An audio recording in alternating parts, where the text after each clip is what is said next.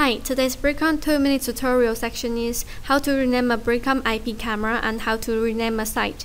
In most scenarios, people use multiple cameras for a project site, and it's hard to tell which camera is which, especially when they are the same models.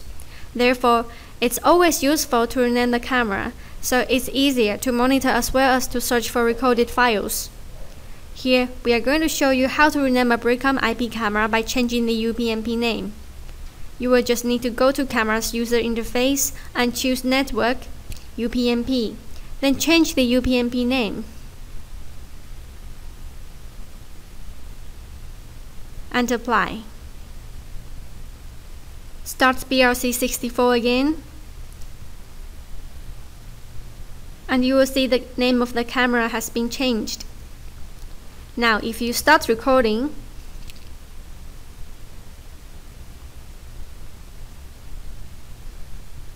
and play back the video.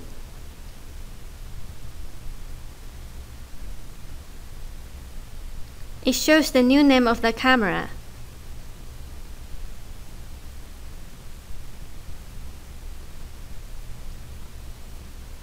And you also see the name of the files are the same as your camera name. So it's easy to be found. Have in mind that if you have a large group of cameras, you will have to go to each camera to do the changes. Here is another method to differentiate the cameras, which is to change the name of the site on BRC64.